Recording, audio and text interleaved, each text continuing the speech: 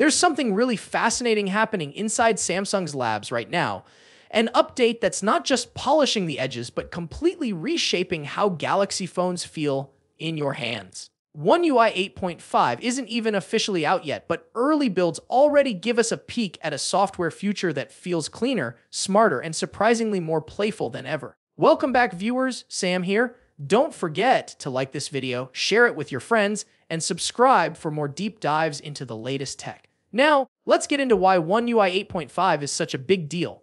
On the surface, it looks familiar, but start digging and you'll see Samsung is rethinking the little details we use every day open up settings, and the first change you'll notice is the search bar quietly moving down to the bottom. It sounds minor, but it's part of Samsung's push to make everything easier to reach, even on massive displays like the Galaxy S25 Ultra.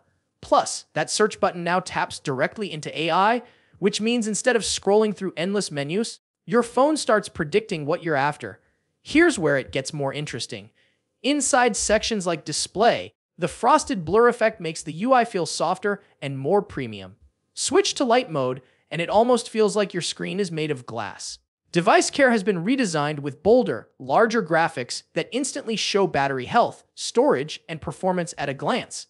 It's cleaner, friendlier, and honestly more modern than what we had in One UI 7. But the real showstopper is the new Quick panel. This is where Samsung might just flip the script entirely. Instead of a fixed grid of toggles, you can now resize them, expand them, or remove them completely. Want a giant Wi-Fi tile front and center? Don't. Want Bluetooth gone? Delete it. Even the media player can stretch out for easier control. It's the kind of personalization we've been begging for. And while it's a little buggy right now, since this is an early build, you can already feel the potential. The animations are smooth, Menace pop with subtle frosted backgrounds, and the whole thing feels like a cross between Pixel's simplicity and iOS's polish, but with that unmistakable Galaxy identity. Now here's a fun detail some of Samsung's core apps are quietly evolving too. The Gallery app gets capsule style navigation at the bottom, frosted backgrounds for Menace, and redesigned albums with rounded rectangular thumbnails that show photo counts inside. Even small tweaks like this make browsing photos feel snappier. And then there's Gallery Labs, now hiding a brand new collections optional categories feature, which could hint at smarter auto organization powered by AI. Jump into my files and you'll spot a bigger redesign. The search bar slides down to the bottom, categories line up neatly at the top with a gradient background, and storage info looks bold and colorful in the center. It feels less like an old file manager and more like a modern dashboard. Even the phone app is experimenting with change. The dialer shifts to a capsule style layout and calls pop up with a square, shaped interface that looks fresh compared to the old one. Small things, but they add up. And then there's the software update page, which Samsung has given a sleeker, more polished design. It's not flashy, but it signals that Samsung wants every corner of One UI 8.5 to feel refined. But here's the part that could get people talking. The leaks pointing to NFC powered quick share. Picture this two Galaxy phones tapping together instantly recognizing each other and starting a transfer with a slick animation. We, Fi Direct then takes over for blazing fast speeds.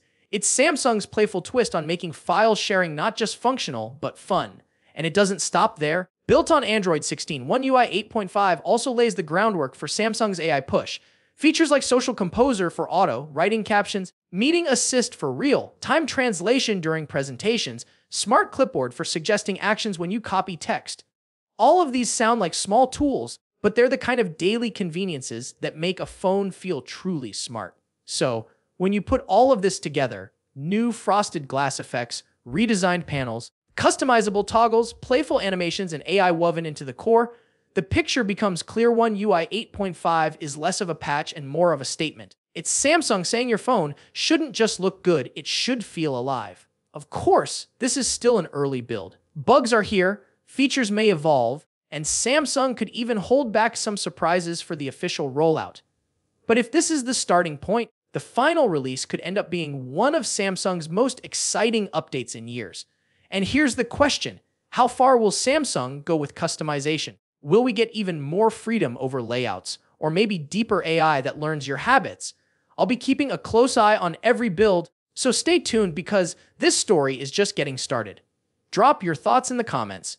Do you like the frosted, premium look, or are you more excited about NFC file sharing making a comeback? Hit that like button if you enjoyed the sneak peek, and don't forget to subscribe so you don't miss the next wave of updates. Trust me, things are about to get even crazier.